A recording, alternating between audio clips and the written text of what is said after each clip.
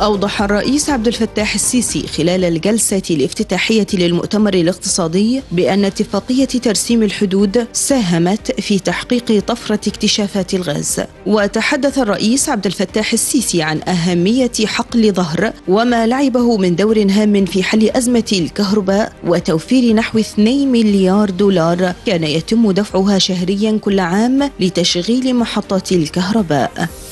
قال رئيس مجلس الوزراء الدكتور مصطفى مدبولي إن مصر عبرت خلال الفترة الأخيرة بخمس أزمات اقتصادية كل واحدة منها كانت كفيلة بإسقاط أي دولة. ولكن دخلت مصر أزمة كورونا وهي في مركز قوي على نحو استثنائي. ما مكنها من تخطيها بنجاح وحققت نسب نمو موجبة بالرغم من أن أغلب الدول المثيلة لنا في المنطقة كانت تشهد نموا سالبا. وأضاف مدبولي في كلمته بال المؤتمر الاقتصادي إن مصر وصلت إلى نسبة غير مسبوقة بمعدل 9% خلال النصف الأول من عام 2021-2022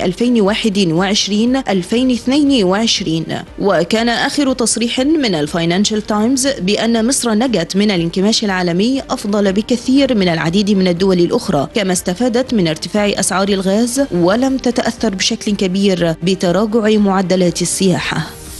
التقى وزير السياحة والأثار أحمد عيسى بأعضاء جمعية رجال الأعمال المصريين وذلك لمناقشة بعض الرؤى والمقترحات للنهوض بصناعة السياحة والقطاع ككل في مصر وزيادة فرص الاستثمار به. وخلال اللقاء استعرض وزير السياحة والأثار أبرز التحديات التي تحد من قدرة صناعة السياحة على الوصول لما تستحقه وأهم عناوين الخطط التي تسمح بتحول الحلم لهدف ممكن. ممكن وكذلك محاور الاستراتيجية الوطنية للسياحة والتي تهدف إلى زيادة أعداد السياحة الوافدة إلى المقاصد السياحية المصرية وتقديم منتج وتجربة سياحية مختلفة للسائحين في مصر. وطالب الحضور بالعمل على حل المشكلات الخاصة بالمشروعات المتعثرة في جنوب سيناء لزيادة الطاقة الفندقية وبالتالي زيادة فرص العمل للشباب وزيادة حصيلة القطاع من العملة الأجنبية. مطالبين ببعض التيسيرات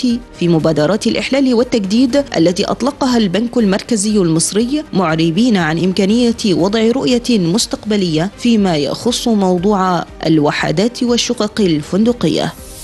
يستعد مسؤولو الاحتياطي الفيدرالي الأمريكي لرفع أسعار الفائدة بوتيرة كبيرة مطلع نوفمبر، كما قد يناقشون أيضا استراتيجيات استكمال دورة التشديد النقدي الأكثر تشددا منذ أربعة عقود. رفع المسؤولون أسعار الفائدة بالسرعه بعد تباطؤهم في معالجة التضخم الذي ثبت أنه أكثر ثباتا مما كان متوقعا، ولكن مع اقتراب أسعار الفائدة حاليا من المستويات التي قد تؤثر على النمو الاقتصادي بدأ صانع السياسة النقدية وضع أساس للتحول نحو تحركات أصغر تصل بهم إلى المستوى المستهدف دون الذهاب بعيدا وترك الباب مفتوحا للمضي قدما إذا لم يتباطأ التضخم. قال الرئيس الصيني شي جين بينغ بعد فوزه بولاية ثالثة تاريخية على رأس الحزب الشيوعي الحاكم إن العالم بحاجة إلى بلاده في ختام مؤتمر مكنه من تعزيز سلطته. وصرح شي للصحفيين في قصر الشعب ببكين أود أن أشكر بصدق الحزب بكامله للثقة التي أبداها لي متعهدا بالعمل بجد لإنجاز مهامنا. وقال الرئيس الصيني خلال كلمة أعقبت ختام المؤتمر الذي الذي انتخبه لا يمكن للصين أن تتطور بدون العالم والعالم أيضا بحاجة إلى الصين. وأضاف بعد أكثر من أربعين عاما من الجهود الحثيثة من أجل الإصلاح والانفتاح حققنا معجزتين تنمية اقتصادية سريعة واستقرارا اجتماعيا بعيد الأمد.